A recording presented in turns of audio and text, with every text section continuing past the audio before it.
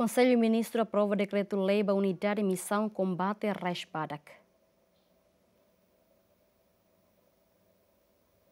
Lihusi reunião Conselho Ministro na BLAU e a sexta, né, governo aprova projeto de decreto-lei, nebe apresenta o vice-primeiro-ministro, ministro Coronel Assuntos Sociais, no diretor executivo Unidade de Missão de Combate à Rachbada, alteração da Hulu, para decreto-lei número Senhor Unida Barari Rua Recém Rua,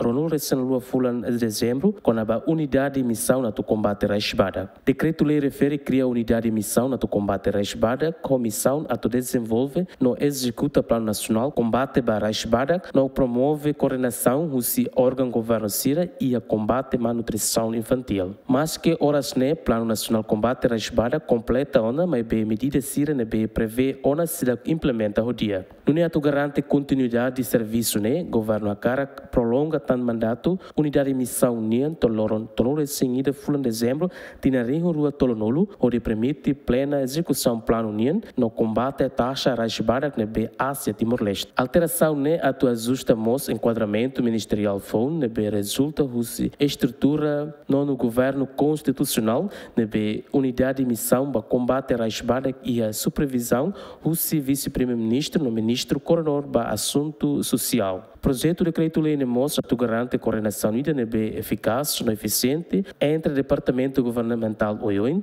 no órgão de administração pública CIRA para execução responsabilidade nebe relaciona com a segurança nutricional de Betau Ona Iha Plano. Lembra Kata que surmutu semana couto, Conselho de Ministros MOS aprova o Plano Anual Nacional Multissetorial onde combate Raishbadak para período ringu rua Roisenhat, to tina ringu rua Tolonolo, o objetivo é reduzir taxa Raishbadak no Radia Saúde Nutricional e a país né. Mateus Romário, bem-vindo Simenes, Gemen.